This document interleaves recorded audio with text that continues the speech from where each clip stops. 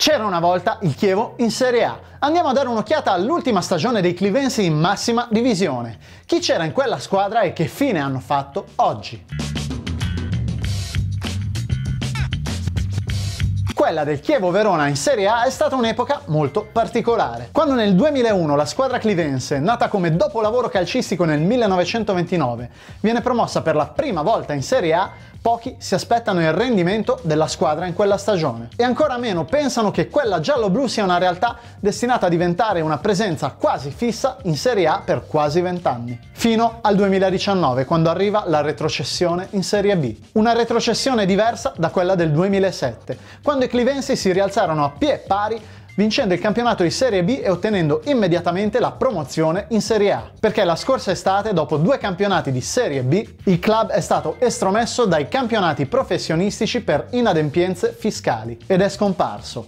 O quasi, ma ci arriviamo dopo. La stagione 2018-2019 è l'inizio della fine per il Chievo, che dopo un avvio accidentato incappa anche in una penalizzazione di 3 punti per plusvalenze fittizie e nell'inibizione del presidente Luca Campedelli fino alla fine dell'anno solare. La prima vittoria contro il Frosinone arriverà solo dopo due cambi d'allenatore alla fine del girone d'andata e di vittorie ne arriverà soltanto un'altra contro la Lazio a retrocessione ormai matematicamente assodata. La stagione inizia con Lorenzo Danna in panchina. 13 stagioni da giocatore del Chievo a cavallo della storica promozione del 2001, ma anche un passato da allenatore della primavera. Viene promosso in prima squadra a tre giornate dal termine del campionato precedente per sostituire l'esonerato Rolando Maran. Tre vittorie in tre partite gli permetteranno di salvare il Chievo, ma nella nuova stagione dura appena 8 gare, raccogliendo solo due punti prima di essere esonerato in quella che finora è stata la sua ultima esperienza in panchina. Al suo posto il Chievo chiama Giampiero Ventura alla sua prima panchina dopo la mancata qualificazione al mondiale con la nazionale italiana. Avrà anche lui vita breve, solo 4 partite con appena un punto portato a casa, prima di rescindere il proprio contratto. E la sua ultima esperienza in panchina è stato il decimo posto raggiunto con la Salernitana in Serie B due anni fa. Finalmente il Chievo si assesta su Domenico Di Carlo, che aveva già allenato la squadra in due occasioni. Non riuscirà a salvare la squadra, che lascerà alla fine della stagione per unirsi all'Anerossi Vicenza. Coi vicentini otterrà al primo tentativo la promozione in Serie B, anche se all'inizio di questa stagione è stato esonerato. Un simbolo di quella squadra è il portiere Stefano Sorrentino. Sarà l'ultima delle sue otto stagioni al Chievo, inframmezzate da una parentesi di tre anni e mezzo al Palermo, e dovrà raccogliere il pallone dalla propria porta ben 60 volte in 31 partite disputate. La sua stagione non inizia nel migliore dei modi.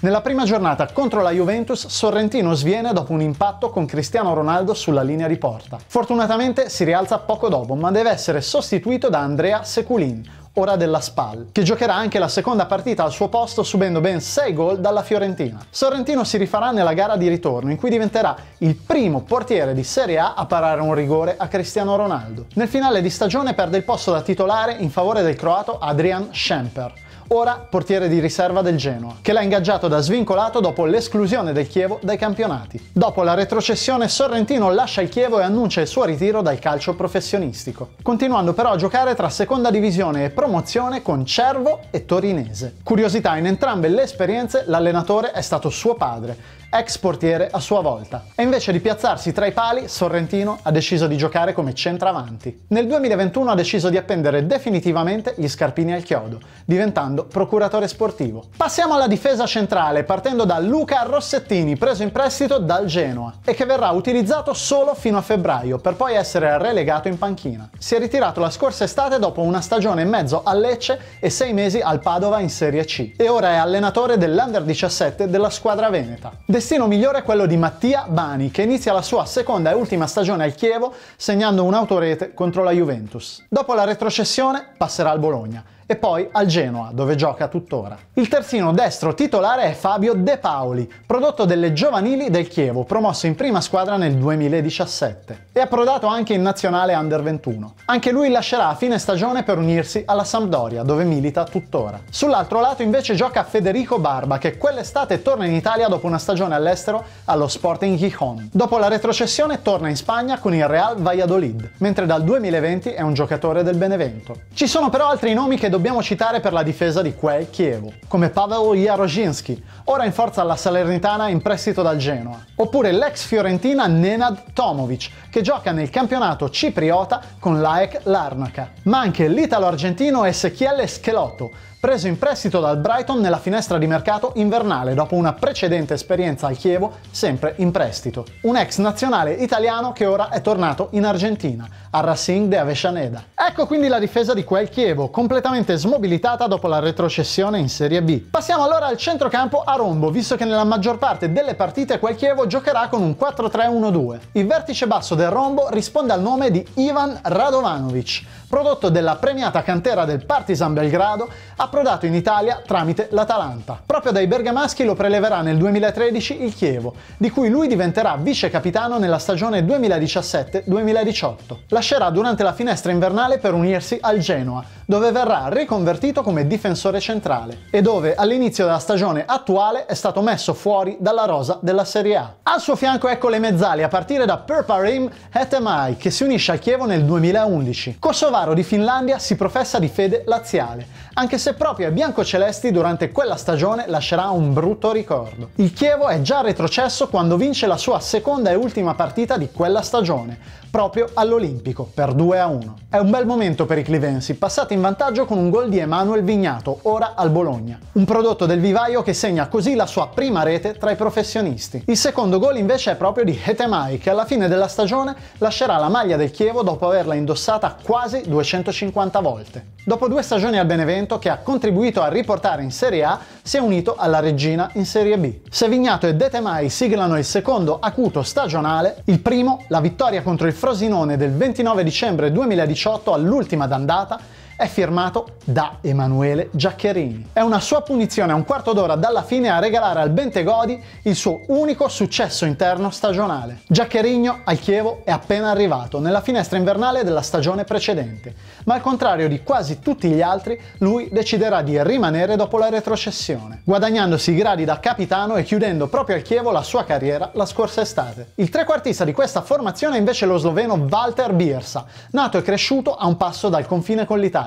Approdato al Chievo nel 2014, era stato una pedina fondamentale del cosiddetto Pandoro meccanico di Rolando Maran. A metà stagione lascia Verona per approdare al Cagliari, dove ha concluso la propria carriera da professionista. A centrocampo meritano una menzione però altri tre giocatori. Nicola Rigoni, che dopo la retrocessione non è più tornato in Serie A e che ora gioca al Cesena in Serie C, Mehdi Leris, ora al Brescia in Serie B dopo due stagioni in blu cerchiato, ma soprattutto Joel Obi, prodotto del vivaio nerazzurro lanciato da Mourinho. Lui lascerà il Chievo a metà stagione per andare in prestito in Turchia, ma tornerà l'anno successivo, vestendo in alcune occasioni anche la fascia da capitano del club giallo-blu. Rimasto svincolato dopo la scomparsa del club, si è unito alla Salernitana. Ecco il centrocampo di quel Chievo, con gli eroi delle uniche due vittorie di quella stagione.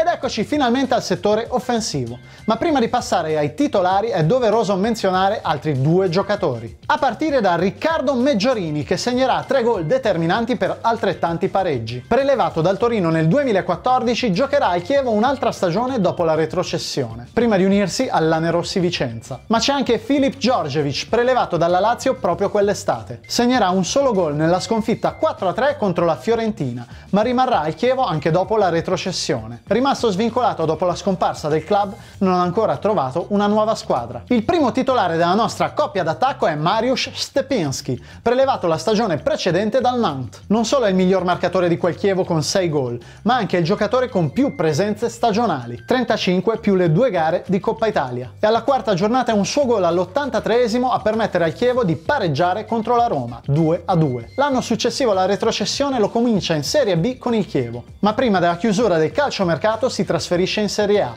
pur rimanendo nella città scaligera. Questo perché se il Chievo è retrocesso, quella stessa estate l'Ellas è tornata in Serie A. Tuttora è di proprietà del Verona, che però l'ha ceduto in prestito prima al Lecce e poi ai ciprioti dell'Aris Limassol. C'è però un giocatore che è il simbolo assoluto di quel Chievo, un centravanti aostano che si è unito alla squadra nel 2002 e che si ritira proprio in coincidenza con l'ultima partita del suo club in Serie A. È il capitano, Sergio Pellissier, 17 stagioni per il Chievo, con oltre 500 presenze e quasi 100 140 gol segnati. E da vera bandiera anche quell'anno non si risparmia. Al Meazza segna il gol della bandiera contro il Milan. Segna al Bentegori contro la Lazio un gol che vale un pareggio. E poi su rigore contro la Fiorentina nella sconfitta 4-3. Ma soprattutto regala un'ultima sfrenata gioia ai tifosi clivensi il 22 dicembre alla diciassettesima giornata, marcando al 91esimo la rete del pareggio contro l'Inter. Dopo il ritiro entra a far parte dell'area tecnica del Chievo, che però lascerà poco prima della scomparsa del club. Anzi è lui che nel frattempo è diventato direttore generale del Rovigo in prima categoria a cercare disperatamente di salvare il Chievo e di ottenere l'iscrizione in Serie D, senza però riuscire a trovare sostegno finanziario. Così ad agosto ha deciso di creare una nuova squadra con l'obiettivo di raccogliere l'eredità del Chievo. Si chiama Football Club Clivense ed è iscritto al campionato veneto di terza categoria. E chissà se un giorno riuscirà di nuovo a scalare le categorie e a far rivivere l'epoca del Pandoro meccanico in Serie A. Ecco quindi la squadra completa di quel Chievo, con il suo capitano carismatico, bandiera vera, grande anima del club. Che ricordi avete del Chievo in Serie A? Fatecelo sapere nei commenti e se vi è piaciuto questo video premiateci con un like e iscrivetevi al nostro canale se ancora non l'avete fatto. Siete su OneFootball, io sono Damiano Benzoni e vi auguro un'ottima giornata.